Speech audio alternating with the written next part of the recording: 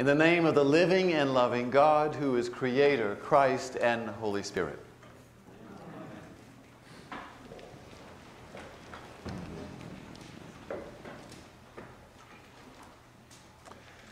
Well, happy Mother's Day to all of you who are mothers and to all of you who mothered and have mothered and will mother. It's an important day.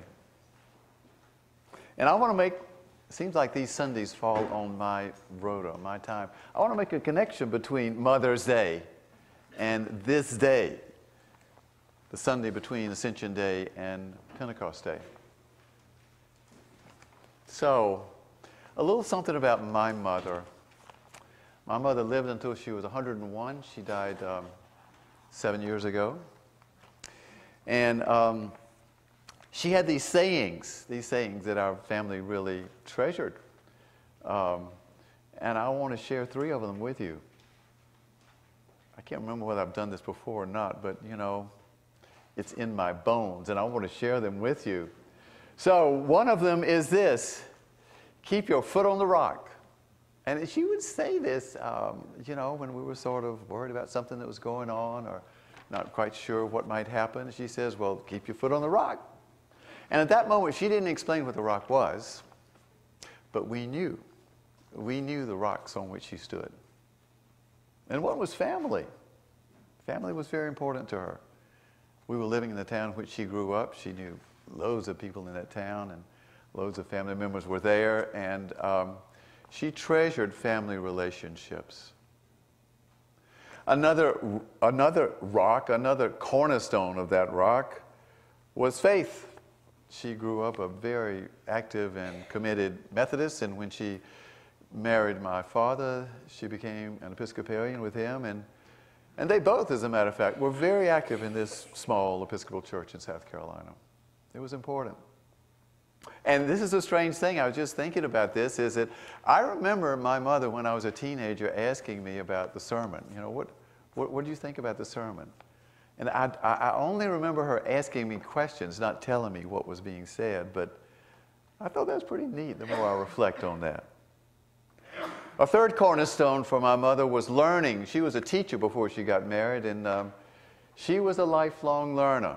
Uh, so much so that in her 60s and 70s, she started uh, watercoloring and was pretty good and, uh, and writing short stories. I mean, which led to the fourth cornerstone, which is she was creative. She was a typical Southern lady, but she was creative in the way she arranged our home and, and entertained and, and um, sort of carried out her life. Keep your foot on the rock. Another motherism was this um, no, thank you, I've had a sufficiency. And again, she was a, she was a nice Southern lady, and um, especially at, at, big meals, um, you know, when we're passing around seconds for fried chicken or turkey or whatever. Mother, would you like some more turkey? No, thank you, dear. I've had a sufficiency which to this day I think is a fantastic statement. I didn't ever use that word sufficiency for any other time in my life until, until I really started thinking about the, the theology of stewardship. You know, we have enough, we have enough, so let's live with enough. That whole thing of sufficiency is a, an important theological concept. And uh, she's the one that started me thinking about that. And the last one that we keep saying it's funny how every time we say this to our sibling, you know, we sort of, we sort of chuckle. If you set a date, it will come. Yes. if you set a date, it will come. But she would use it like, um, oh, I wish Christmas would get here pretty soon. So, yeah, I want Christmas to come right now. Well, honey, if you set a date, it will come. or, I don't know what I'm going to do about this high school term paper. I don't, it's, it's, you know, it's due in about four days. Well, if you set a date, it will come.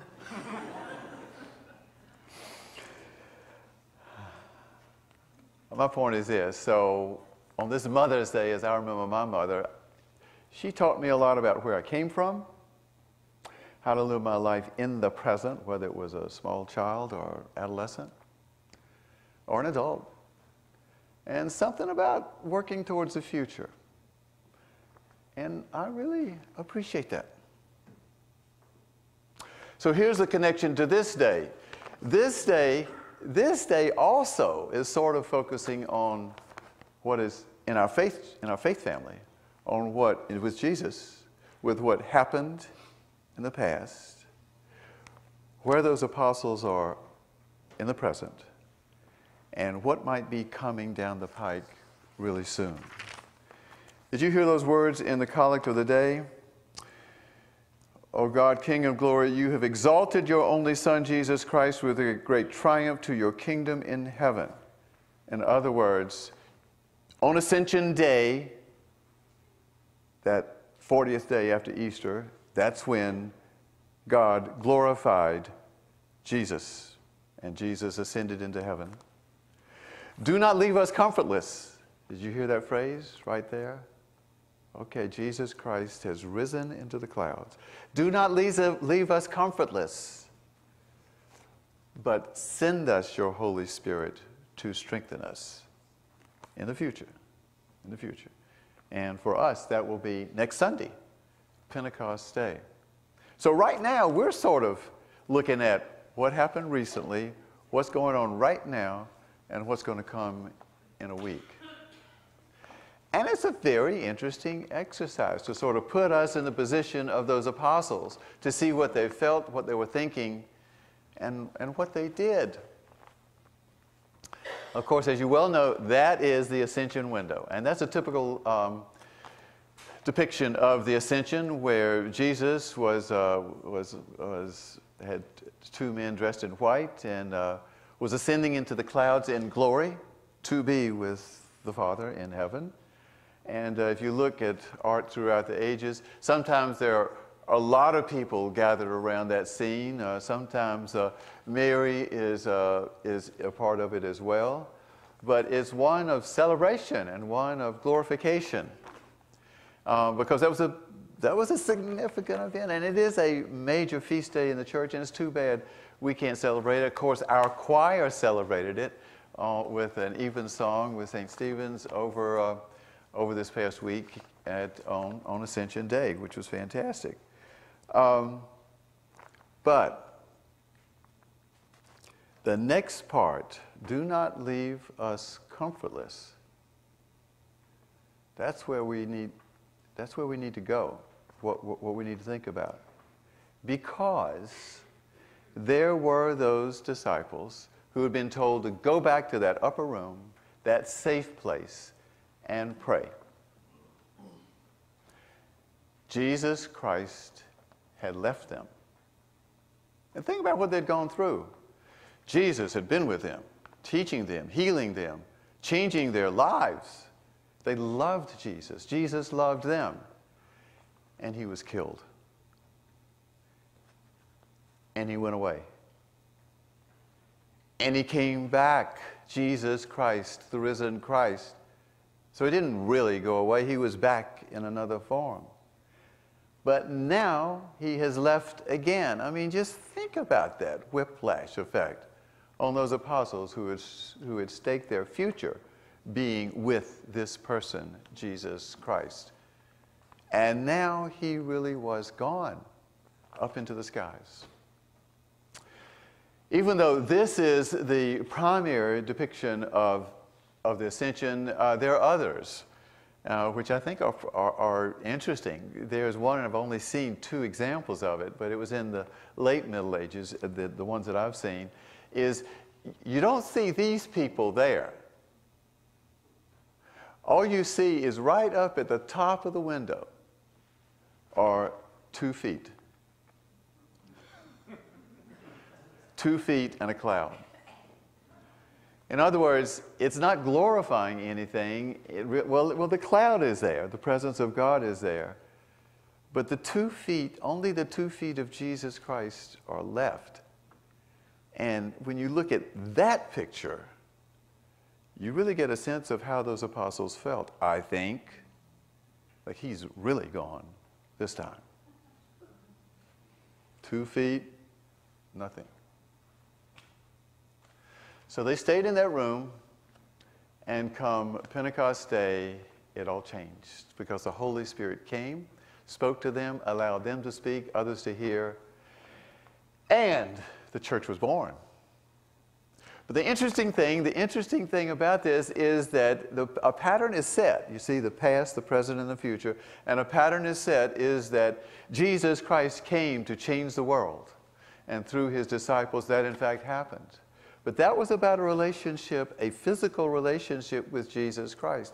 But the leadership of the church had to change from Jesus being present with the apostles, with the disciples, to the people believing in the risen Christ becoming the body of Christ.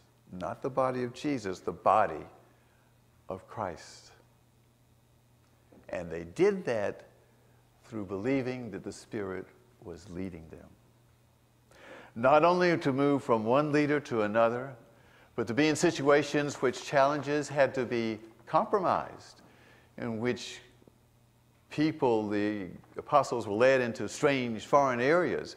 They were given the ability to speak to those people in their, in their own, using their own uh, metaphors and stuff, their own language. They spoke to the Jews based on the Hebrew scriptures. They spoke to the Greeks based on uh, using Greek and, and based on the history of pagan religions, re, you know, connecting with them using their language. They were empowered by God, the Holy Spirit, to go out there and be the body of Christ, both in including others, the different people in them, into the body, and reaching out to others with God giving them the ability to do that. So I think that we still, I mean, 2,000 years later, it's probably a healthy thing for us to say that we're in the same spot. Every time we gather, we remember our tradition. Um, even when we gather informally and not in, in liturgy in the church. We remember where we came from, Hebrew scriptures. We remember all that the church has done over the past 2,000 years. And yet sometimes we want to say, God, do not leave us comfortless. Because we do feel lost. Sometimes, with the challenges which surround us, sometimes they become so great that we really don't feel that connected to God as we did a week ago or something. Sometimes we feel fearful and scared and lost. And that's when we are called on to remember the tradition and call the Holy Spirit to be with us, to guide us, to love us, to give us strength, to reconnect, make the body of Christ reach out into the world and share this message.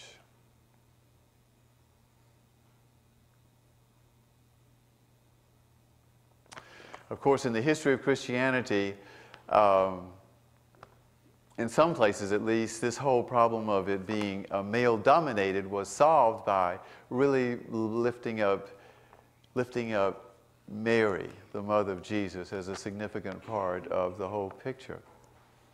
But here we are on Mother's Day, and we're lifting up mothers. And it's a fascinating thing, the more you look at the Acts of the Apostles, there are a lot of women, a lot of women play significant roles in that early church. And they're stated and listed in the Acts of the Apostles. It's been so interesting for us over the season of Easter to study the Acts of the Apostles and exactly to see how those early Christians led their lives and formed the church. May we today, in our own way, celebrate our past, live into the complexity of our present, and always, always call on God to be with us as we live into the future. This we pray in the name of Jesus. Amen.